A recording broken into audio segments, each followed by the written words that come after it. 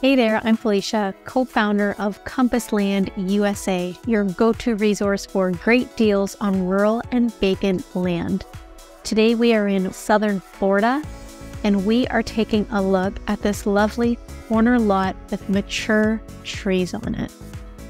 So, this property is zoned as single family residential. The terrain is fairly level. There would be some brush you would have to clear towards the front of the property. It's 0.21 acres. You cannot camp or RV on this property. Power lines run along the street. Water would be by well, sewage would be by septic.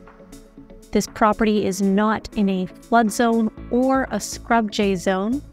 The annual property taxes are only $191 a year. You have paved road access, as you can see, and this property is not in an HOA. It's a great spot for a new family home, a winter getaway, or your new manufactured or mobile home. This property is only 23 minutes to all of your amenities in Port Charlotte this is a very well built up area. Anything you need is just a short car ride away. Along with nearby access to plenty of Gulf Coast beaches, you do have some treed areas to explore as well. The Peace River Preserve is only 33 minutes from the property. Lots of activities for you to do here, including kayaking and just exploring the 450 acres.